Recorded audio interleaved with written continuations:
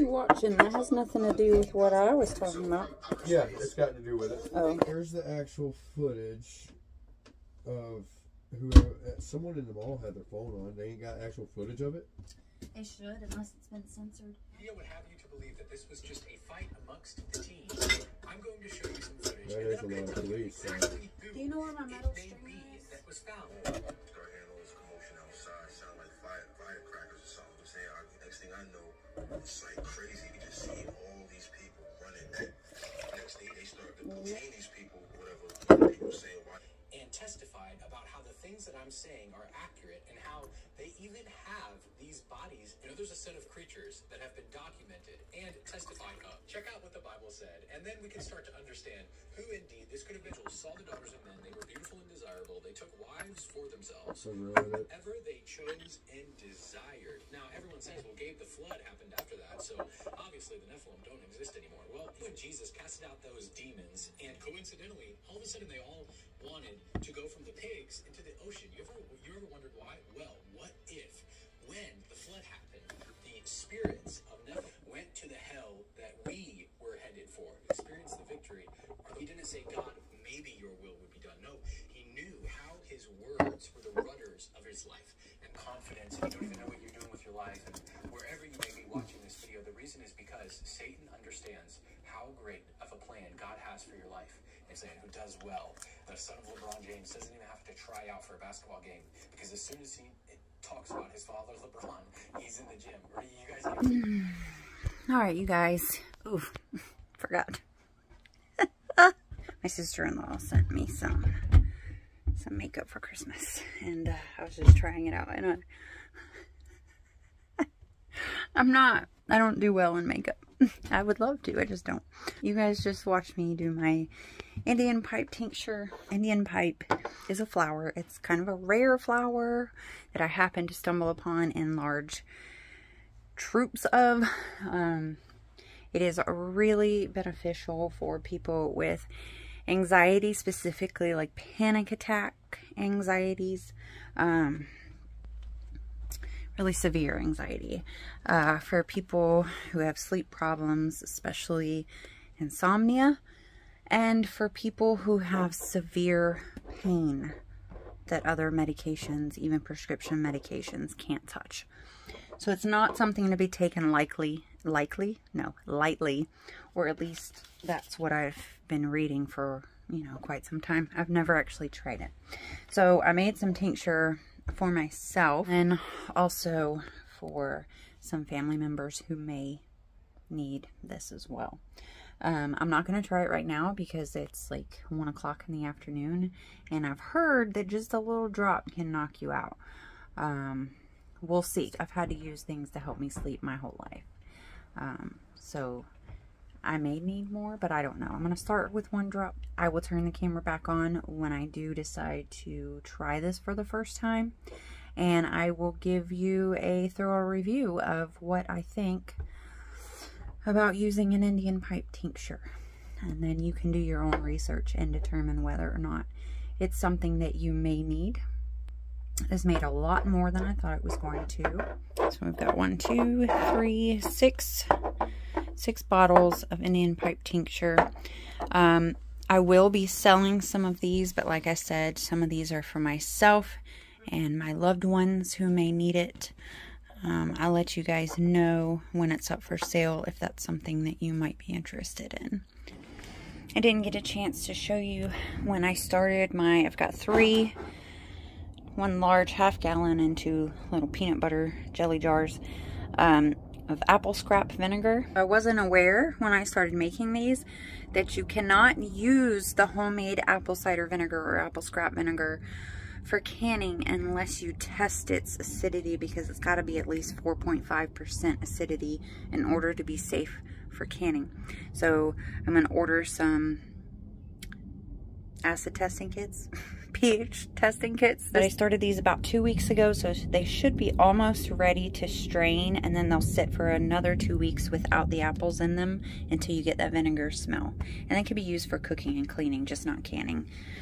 And then I started some fermented um, garlic honey. You can see those little bubbles in there. It's definitely fermenting.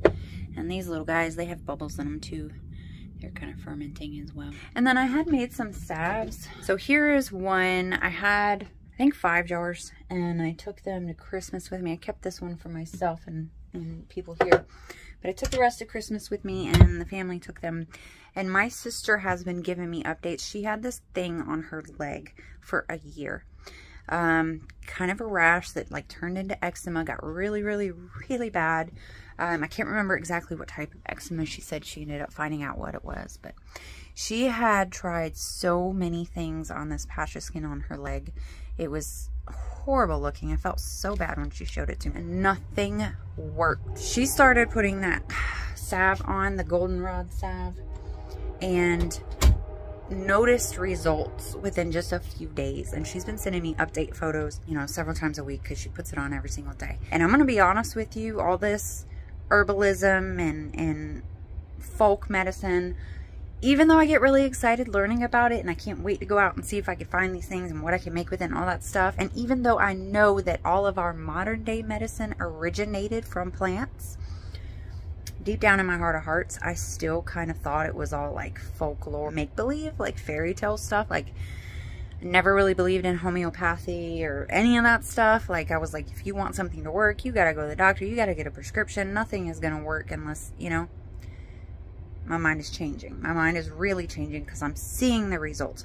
And I've been taking my goldenrod tincture because my allergies have been really, really bad.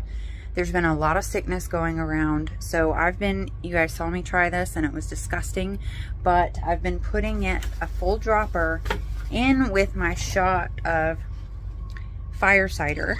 So this is full of all kinds of goodies that, you know, have antibacterial and immune boosting properties and stuff like that. So I put a full shot of this nasty goldenrod tincture in there and you cannot taste it mostly because the fire cider is so strong but I don't mind the like pickly flavor of the golden or of the uh, fire cider, so it, it it's a good thing. Um, and so I've been taking that whenever I wake up and feeling really uh, like my allergies are really really bothering me. And I'd say within 45 minutes to an hour, allergies are gone and I'm feeling better. So I'm starting definitely starting to believe in this stuff and get more and more into it. I'm even thinking about maybe taking classes and getting certified, even though I don't know that they have an actual certification in the state that I live in, but why not? Why not?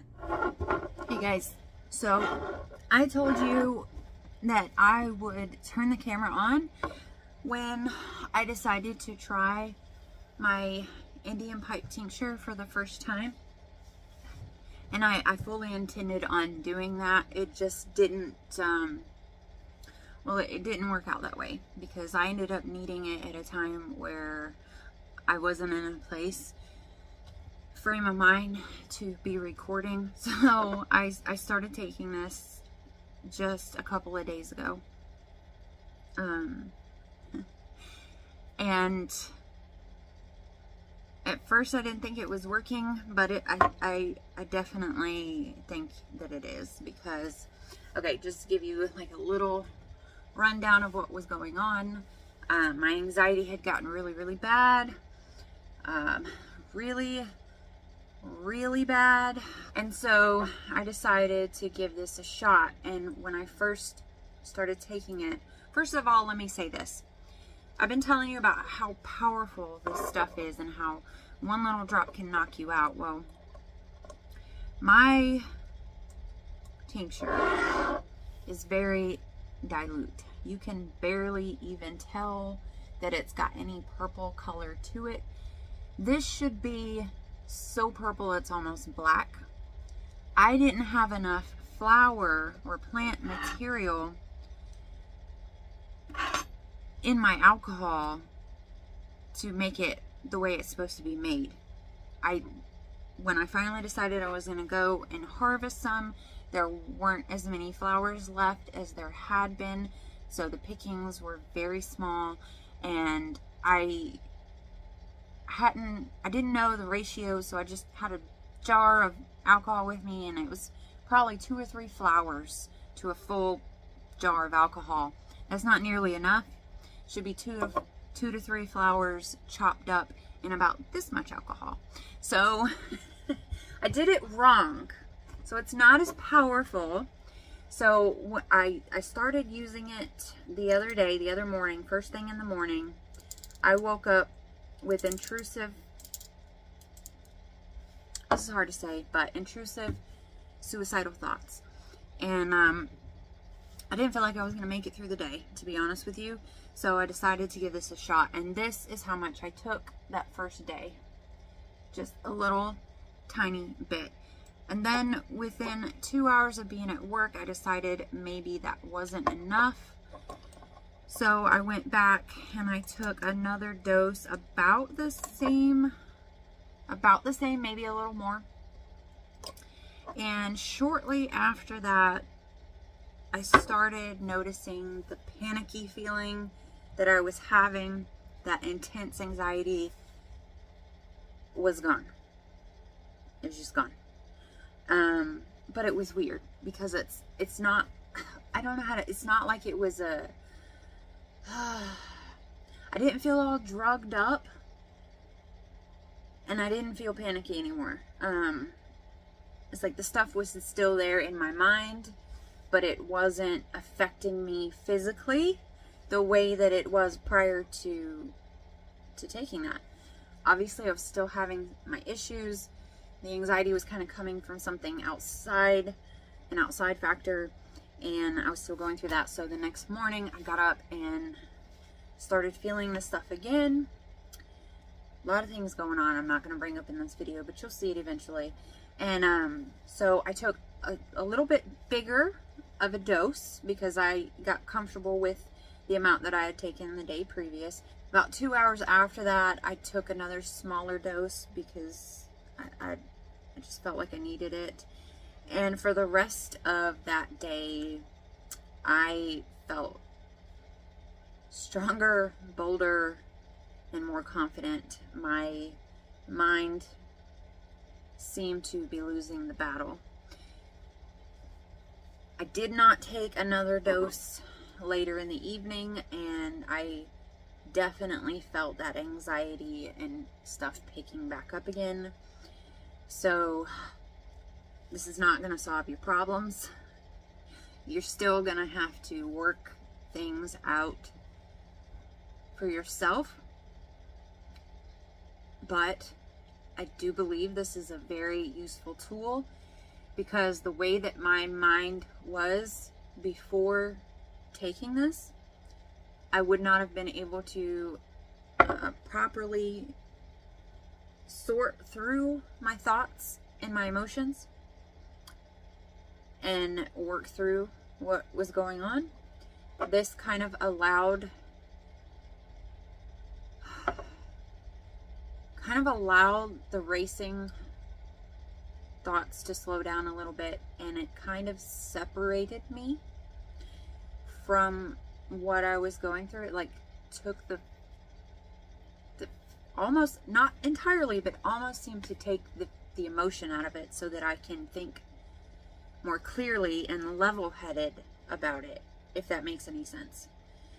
Um, so I'm actually really surprised. Um, I was scared to try it at first. I didn't want to take too much, make myself sick.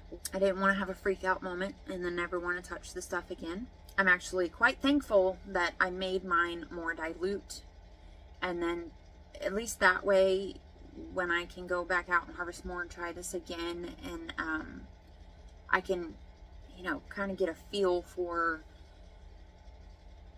the right um, dosage, the right strength and dosage that I need. Uh, as far as using it for my sleep, I don't think this is strong enough.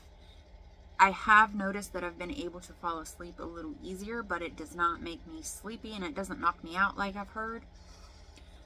And I, I think that's attributed to the fact that it's such a, uh, a watered down, it's not concentrated, it's very watered down. So I'm not getting very much of the medicinal properties out of it. But I'm getting enough, it seems, to help in times when I need it. So the next batch I make will be stronger and then I can test that and see how that works for my sleep because I feel like I would probably have to take quite a bit of this if I wanted it to help me with my sleep. And it tastes a lot like alcohol because there was so little plant material in it. It was more alcohol than plant material, which is not how your tinctures are supposed to be made. So I messed up on this one. But it still works. It's a less powerful medicine. And I'm, I'm so happy with it. This is definitely going to be in my toolbox from now on for those times where I just can't control my thoughts and my anxiety is taking over and it feels like my, my mind is attacking me. Yep. Yep. It works. It helps. It helps. Like I said, to kind of separate you from the emotions so that you can process and work through the stuff. So I'm incredibly thankful. And uh, I look forward to to experiment, um, experimenting more. So I just wanted to hop on here, give you guys that update, let you know how it's going in case it was something that you were interested in. And um, I do have it listed up on my Foraged shop. I'll try to get a link for that and put it in the description below if you're interested in maybe trying this for yourself. Or I've got other stuff up on there too. I've got all kinds of mushrooms up on there. I've got um, I don't know what all I have on there. I just finished uploading everything. But anyway.